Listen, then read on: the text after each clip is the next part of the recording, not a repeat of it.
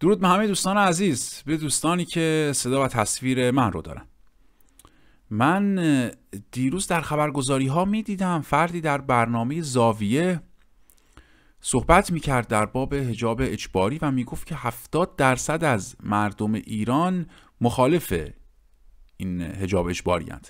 البته ایشون که خودش از واژه هجاب الزامی استفاده می کرد که این دیکتاتورها برای وارونه جلوه دادن حقایق و واقعیت ها سعی می کنند که واژه ها رو وارونه کنند.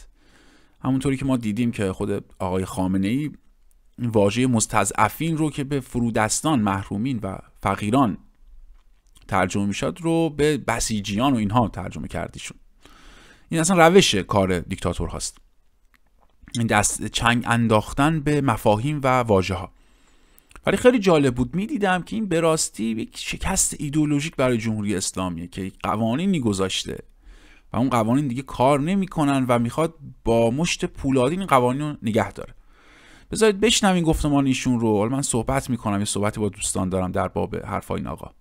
سالی هست که در جریان آمارهایی که شورای فرهنگی عمومی کشور راجع این موضوع در واقع می‌گرفته و وزارت ارشاد هستن. این آماری هم که راجع هفتاد گفتم بالای هفتاد درصد هم هست. مخالف هجاب الزامی هستن. برمیگرده به آماری که وزارت فرهنگ و ارشاد اسلامی کرده. من بر اساس اون گفتم. از نکات جالبش این بود که حتی در شهر قوم نسبت مخالفین الزام بیشتر بود از موافقین و خراسان جنوبی مساوی بود. حالا این نکته جالبه برای من بود. البته آمارهای دیگه هم هست یه مقدار متفاوته ولی از نکات جالب اینه که ما به دلیل اینکه نتایج آمارها تو این مقوله خیلی بعضا مطلوب ما نبوده ما این نتایج را منتشر نکردیم.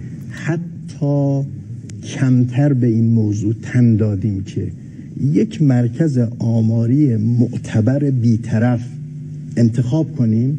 و بگیم برید شما تو جامعه با دقت بالای آماری مسئله را در بیارید.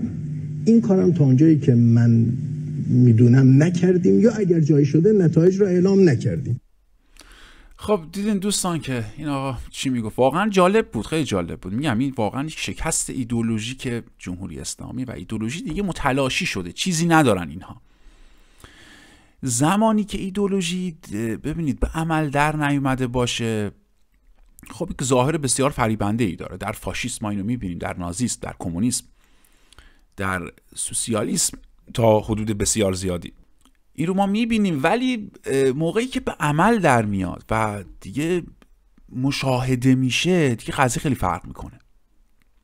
برای جمهوری اسلامی هم این قضیه خیلی وقته که گذشته. 35 سال پیش 30 سال پیش نیست که با بحث های تئوریک بتونن مردم رو فریب بدن. تو در گذشته خواهی بحث های تئوریک می‌کردن ها نهج البلاغه رو باز می‌کردن. از چه می‌دونم جعفر صادق یک حدیثی می آوردن یک آخوند میمد یه صحبتی می‌کرد یک شوخی می‌کرد مردم هم فریب میخوردن. البته باز هم اون دوران وضع اقتصادی اقتصادی مردم خوب بود. میشه گفت خیلی بهتر از الان بود وضع اقتصادی.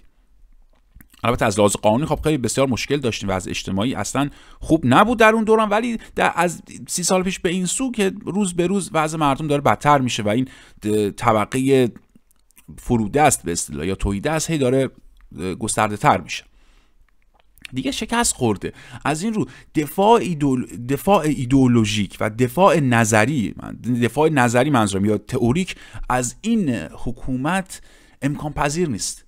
دیگه به هیچ رو اینها خودشون نمی‌تونن بیان از نظامی که بهش باور دارن بیان دفاع نظری کنن. در این سه سال چهار سال پنج سال باور کنید من مدام نگاه می‌کنم این اصلاح طلب اصولگرایان رو این مالکشان رو این تعطیلگران نظام جمهوری اسلامی رو. کسانی که در غربن این تریبون دارن کسانی که در داخلن به هیچ عنوان یک بار من ندیدم. بیان دفاع تئوریک کنن. به صورت فلسفی دارم برای دوستان عرض می‌کنم. یا نظری یعنی بیان از لحاظ نظر ابعاد حقوقی اقتصادی و چیزهای ذهنی بخوان این قضیه رو توضیح بدن و بیان دفاع کنن. هر چیزی که بوده یا تقلیل پیدا می‌کرده به دشمنان که تقصیر دشمنانه یا تقلیل به این پیدا می‌کرده که ما استقلال داریم. که بدون اینکه اصلا معنی کنن که منظور از استقلال چیست. کدوم کشور در حال حاضر استقلال داره که ایران دومیش باشه.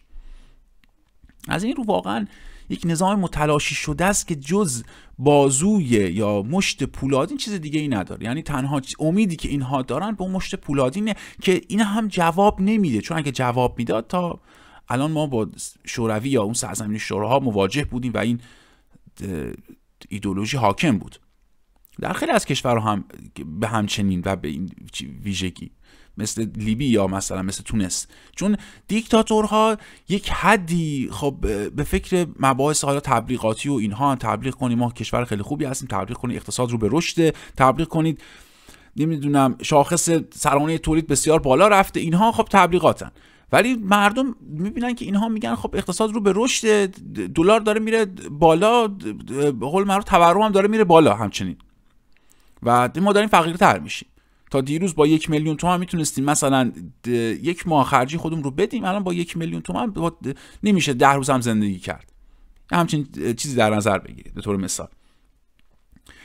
و با چیزی دومی که اینها بهش به قول تکیه می‌کنن مشت پولادینه. که الان می‌بینید در این باب این قضیه هم این هفته من شنیدم بسیج نمی‌تونم ضربت درست کردن. این کلمات هم نگاه کن شو تغییر می‌کنه. حالا بسیج منکرات بود یه زمانی این. می‌گرفتن این مردم بیگنار تو خیابون اسید تو صورتشون میپاشیدن می‌زدن اینها رو. میبردن شلاق می‌زدن. این دختران رو پونست توی پیشونیشون می‌کردن. چادر اینها رو میکشیدن. مقنه این افراد رو میکشیدند. الان شده بسیج ضربت محلات که بیان تو محله بچرخیم دوست بگیریم. قضیه از این قرار که می‌دونید این برای خوف, خوف و وحشت یعنی با ترس اینا می‌خوان مرد به قولی حکومت کنن. یک ساختار ارعاب بنیاد ما در جمهوری اسلامی داریم. که سپاه پاسداران این رو به دست گرفته یعنی مسئولیت اون بنیاد ارعاب آور جمهوری اسلامی سپاه پاسدارانه و شاخهای زیر دستش. بسیج حال بسیج محلات نمی‌دونم. این داستان ها در باب این هجاب هم اگر توجه کنید ببینید کار جمهوری اسلامی نبوده. یعنی این نیست که شما فکر کنید که این جمهوری اسلامی اشتباه کرده و مردم به این نتیجه رسیدن که حجاب اجباری این است و چنان. نه این کار اپوزیسیونه کار روشنگریه کار افرادی که سالیان سال با جامعه صحبت می‌کنن بحث می‌کنن مناظره می‌کنن می‌نویسن. یعنی می‌خوام این رو بگم به این دوستانی که حالا مخالف این رژیمن نباید دل سرد شد. تأثیراتی که گفتمان ما ها می‌ذاره زمان می‌بره. این نیست که ما امروز یک چیزی رو بگیم فردا بخوایم تاثیر این رو در جامعه ببینیم. و توی مباحث علوم اجتماعی و علوم رفتاری تاثیرات خیلی تدریجی صورت می‌گیره. این نیست که آنی باشه که یهو مثلا حالا من امشب یه حرفی رو بزنم فردا تاثیرش تو جامعه ببینم. نه زمان می‌بره. تا جامعه به پختگی خودش برسه. تا جامعه بفهمه که ماها راست میگیم. یعنی اپوزیسیون راست میگن. یک ده سال پیش شاید گفتمان اپوزیسیون اصلا جنبه مناسبی نداشت در دل جامعه. کسی گوش نمی‌کرد. چون یک اصلاح طلب هایی بودن. این بالشتان نرم رژیم بودن که می‌شد به اونا رو اونا حساب کرد. حالا میر حسین و کروب این همسال اینها می اومدن ایران رو درست می‌کردن. خیلی از ما هم همچین فکر رو داشتیم. در اون دوران نوجوانی خیلی هم که از سن 17 سالی پایینتر بودن. اغلب این دهه هفتادی که ما می‌بینیم الان کشته شدند اینها ده سال پیش 18 سال سن داشتند. یعنی ده سال پیش شاید خیلی از اینا 16 سال سن داشتن و واقعا باور می‌کردن حرفای کسی مثل خاتمی کسی مثل میرحسین موسوی رو. ولی در حال حاضر این چنین نیست دیگه. دیگه شکست خورده و نمیشه کاری کرد. ایدولوژی هم که شکست بخوره حالا شما هر چقدر بیاین تبلیغ کنید ببینید سالیانه چه چه مقدار نمی‌دونم چندین میلیون یورو دلار اینا خرج این تبلیغات اسلامی می‌کنن. خرج بنرگذاری توی سطح شهر می‌کنن برای هجاب سریال درست می‌کنن کارتون برای کودکان درست می‌کنن کتابای به قول معروف تحصیلی رو تغییر میدن. نمی‌دونم توی توی رسانه جمهوری اسلامی تو بوق کرنا می‌کنن مزدور به خارج کشور میفرستن. میگن بیا از ما دفاع کنی از حجاب اجباری ما دفاع کنیم. دیگه کنفرانس می‌ذارن بحث و حدیث و اینها گشت ارشاد می‌ذارن. خب اون همه هزینه است دوستان. اون پلیس اون فرد امنیتی که اونجا میسته اون زنی که اونجا میسته حالا از بسیج میاد سپاه میاد از پلیس میاد یا از جای دیگه میاد اینا خب بعد حقوقی به این افراد بدن یه اضافه کاری باید به این افراد بدن. ببینید چقدر از هزینه درآمدی دولت خرج این افراد خرج این قضیه میشه. بعد شما میای مواجه میشین با چیزی در شبکه چهارم سیمای جمهوری اسلامی در برنامه زاویه میگه که بالغ بر 70 درصد مخالف حجاب اجباری یا الزامی. فرق نمی‌کنه. اینا مصداق شکیه اینش جالبه. بعد یه عده هستن که میگن اپوزیسیون کاری نمی‌کنه اپوزیسیون ما نمی‌دونم هیچ کنشی نداره. اپوزیسیون ما وا مونده و مونده. نه عزیزان این نیست. اپوزیسیون همینه که میان روشنگری می‌کنه. اگر روشنگری نبود که جامعه به این سطح و به این سطح و سطوح نمی‌رسید. به این قضایا نمی‌رسید که بیاد بگه که من به حجاب اجباری اعتقاد ندارم. اصلی ترین رکن تشیع و اسلام همین حجاب اجباریه. که زنان باید هجاب بذارن زنان باید در پستو باشن زنان. نباید کار کنن زنان نباید وارد جامعه بشن. اینا هم که اوایل کار این کارا رو کردن. این خود خمینی مخالفتش با شاه چی بود؟ عزیزان من همیشه این رو میگم. خمینی کجا معروف شد؟ زمانی که در انقلاب انقلاب سفید این شاه فقید اومد گفت که حق رأی به زنان. در جای من میخوندم عین کلام ایشون بود. خیلی عذر می‌خوام اینطور بیان می‌کنم. می‌گفت جون جز یک مش زن هر جایی منظورش هرزه است دیگه. کسی تن به این حق رأی نمیده.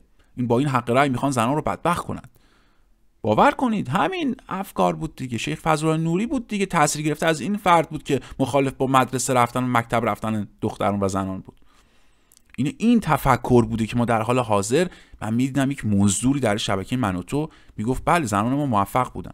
ببینید زنان ما موفق بودن که جای خود ولی روشنگری هم شما در نظر بگیر. بگو چند هزار زن بوده در خارج کشور تبعید شده تبلیغ کرده صحبت کرده مناظره کرده نوشته. اینها رو بگو. بگو چند هزار زن در ایران بوده که اینها رو زندان کردن شکنجه کردن که وضع زنان به این به این گونه رسیده. این حرفا رو نمی‌زنن. زیاد از این افراد مزدور ما داریم این ور آب که اینها پول مزدوری می‌گیرند. خب؟ حالا شاید پول مزدوری نگیرند ولی خب حالا به خاطر اون سطح فکر و سطح منش و اون تربیتی که شدند اینها چاقو تو شکم مردم می‌کنن یعنی حاضرن هر چی دارن برای جمهوری اسلامی خرج کنن هر چی انرژی دارن برای جمهوری اسلامی بذارن ولی یک بار فکر این مردم ایران نباشن. مردم ستمده ایران. من می‌خوام این رو این هم عرض کنم که شما ببینید مخالفان چقدرند. که این میگه بالغ بر 70 درصد مخالف حجاب الزامی ان بنا به گفته خودشون که این اسنادش هم بیرون نمیاد که ما هی میگیم میگیم بابا شما مخالف زیاد دارین کسی موافق شما نیست. میگن آمار بیارید میگه معلومه دیگه. جرأت هم ندارن آمار بدن. یعنی همونطوری خودش گفت. یعنی این رژیم انقدر پایه های سسته که حاضر نیست بیاره از این مراکز پژوهش های آماری که کار علمی می‌خوان انجام بدن بگه در باب این قضیه شما در ایران آماری بگیرید. اصلا حاضر به همچین کار. چون می‌دونن چیزی تو چنته ندارن. می‌دونن اصلا به قولی شکست خوردن توی تمام زوایا. یک جا شما بگین که اینها یک پیروزی به دست آوردن یک به قولی کاری انجام دادن. فقط تنها چیزی دارن برای موشکیه. این خرج این موشک ها رو زیاد کردن بردشون بیشتر بشه اینا رو هوا می‌کنن مردم ایران تحریم میشن میندازن گردن اپوزیسیون میگن اپوزیسیون باعث تحریم جمهوری اسلامی شده. ببینید این مهملات امثال نسیم نوروزی من در این خانمی برنامه درست کردم. ببینید واقعا توی دانشگاه کانادا هم درس میده. فلسفه آموزش. حرف حسابش اینه. این سپاه پاسداران که موشک درست می‌کنه ایشون نمی‌بینه. این تاثیر اپوزیسیون اپوزیسیون می‌خواد جنگ بیاره اپوزیسیون میگه آمریکا باید تحریم کنه. بگذاریم از این هم دوستان تا نوبت دیگر. بدرود به همگی.